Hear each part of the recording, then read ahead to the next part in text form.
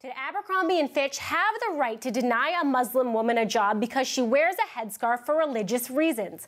The Supreme Court heard arguments on that case today. The WSJ's Jess Bravin was there, and he joins us now with the details. Jess, thanks for joining us. Hi, Sarah. So, did you get any indication in court today of where the justices are leaning? Oh, yes, I think we did. I mean, the justices uh, felt that this case seemed pretty clear. I mean, there, there's no question that Abercrombie and Fitch, like any uh, employer, is not allowed to discriminate based on uh, uh religious prejudice. But more than that, uh, employers are required under federal civil rights law to accommodate religious practices that don't unduly burden their business.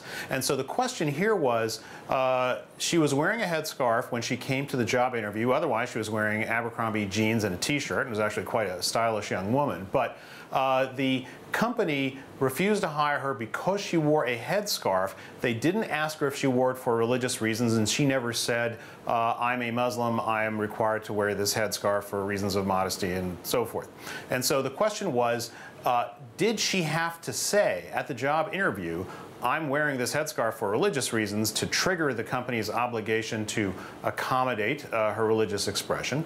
Or uh, was it uh, in this situation where the company correctly assumed she was a Muslim uh, enough for them to know that and to, and to uh, even if she didn't say herself? But even then, it doesn't seem necessarily like it would cause undue harm for them to accommodate this headscarf. What does Abercrombie say in their defense about this? Well, actually, uh, since this case happened, Abercrombie has granted a number of exceptions to employees and allowed them to wear headscarves. What they're saying is that, uh, you know, if you, uh, you know, she didn't say she's Muslim, she didn't say she's required to wear the headscarf.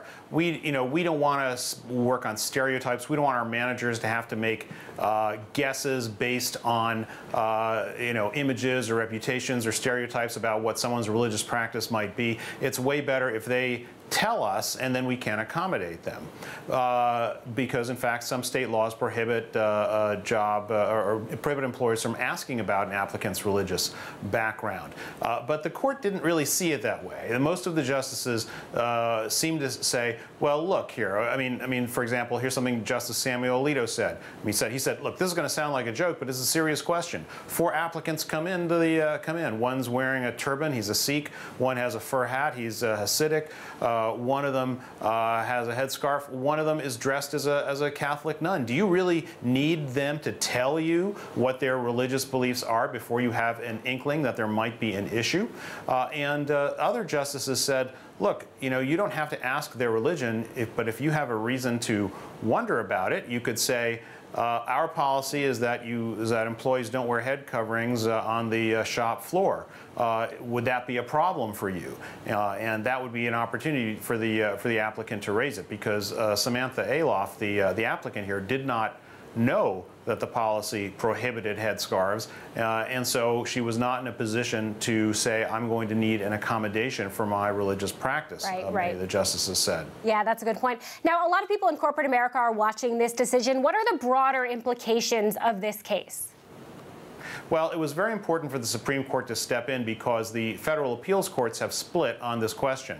The 10th Circuit Court of Appeals in Denver, which uh, heard this case, agreed with Abercrombie. They said, you know, uh, not every person who wears a headscarf does so for religious reasons. Not every person who's uh, religious or, or, of the Muslim faith necessarily wears a headscarf.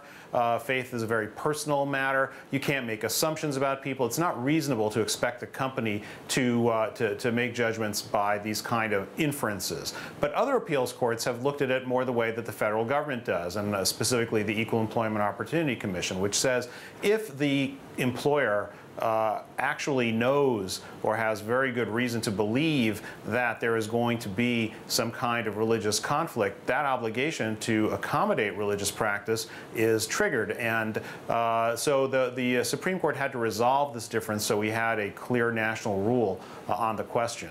Yeah, Jess, really interesting. We'll, it'll be interesting to see how the court decides on this. Thanks very much for joining us. Of course.